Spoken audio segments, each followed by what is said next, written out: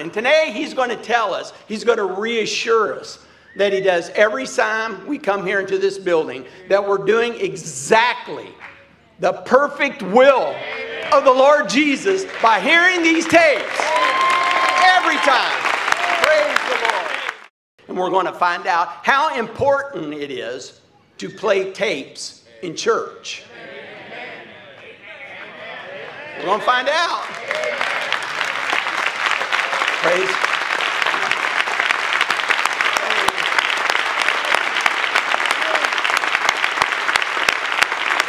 Praise the name of the Lord. It is a huge controversy in today. I'd say it's the biggest controversy inside of the message today. That right there. You know, it used to be a lot of the doctrines and teachings and things that were going out in different ministries and pulling all direction. Those are, they, they're gone. They're gone. But it is playing the tapes in the church. That is the controversy. It is like it was in the days of Jesus, so is it today. The people are divided.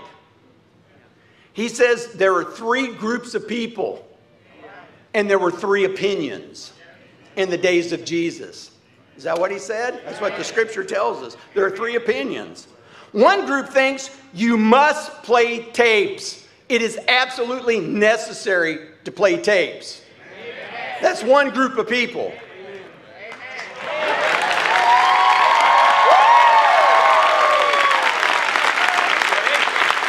We are that group. We're group one. Praise the Lord.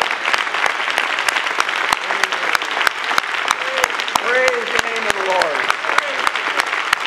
I'm identified with that group. You may be seated. You know, others, there's another group. It is absolutely wrong to play tapes in the church. They never heard Brother Branham say ever to play tapes in the church. I, never mind. But there is a group that believes that. Brother Branham never did say play tapes in church. It's wrong to play tapes in the church. And then there's another group, a third group. They don't know what to think. Maybe sometimes, but not all the time. I don't know. They want what they call keeping a balance. You ever heard that terminology? I like to keep a balance, which usually means let's play tape twice a month on Wednesday night. That's not a balance. A balance is equal. Just be equal if you want to keep a balance. That's if you want to keep a balance, then keep a balance. Remember, there were three groups then, and there's three groups now. What did they say then? But like in the days of Moses, they started murmuring. They had a plan. We've got to do something. It takes more than just Moses' word. They wanted something more than just Moses' word. Moses' word wasn't good enough. That's what he said. I'm quoting the prophet of God. It takes more than Moses' word. I guess they felt it just took a balance. that they needed Moses and them.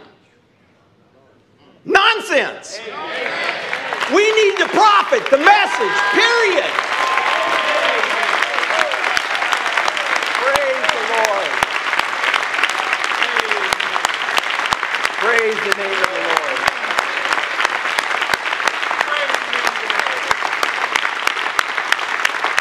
Praise the Lord.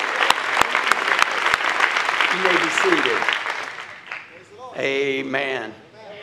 Now listen, this doesn't mean there isn't a fivefold ministry. And there's going to be many of them listening because they listen to what we say. what goes on here. They listen. And I'm not saying it because of them, because it's just truth. It's truth. There is a need for the fivefold ministry. There is a fivefold ministry. There has to be ordained men of God. God put them in church, He put them there. He said He put them there for the perfecting of the bride, the Word. They're in the church, they're here, they can't be taken out. And we need them. We need them to point the people to the message, to the messenger, to the voice, and to play tapes. That's what they need to do. Praise the Lord. Praise the Lord.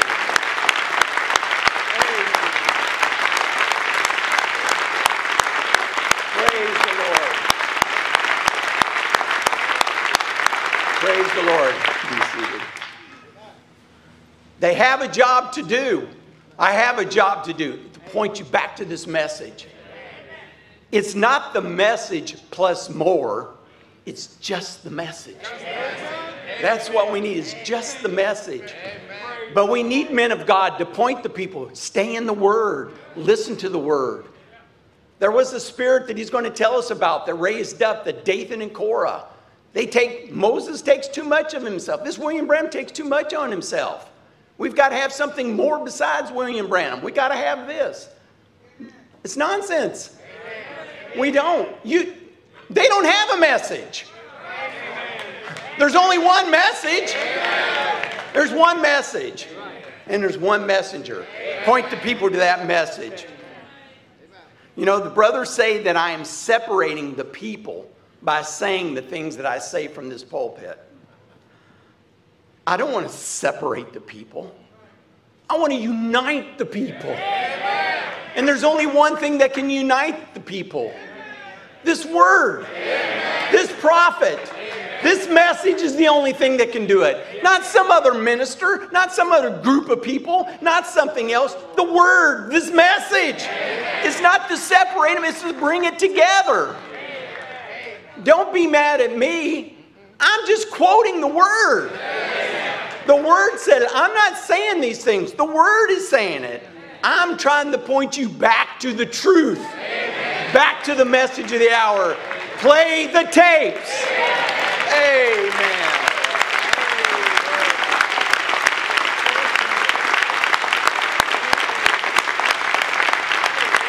Praise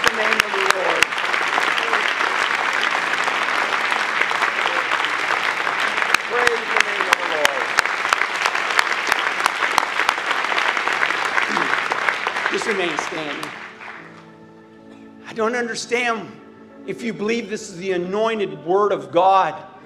If you believe this message, he's going to tell us tonight it's the Messiah, the anointed one that we needed, that he came. He is vindicated, vindicated by a pillar of fire, vindicated by three poles.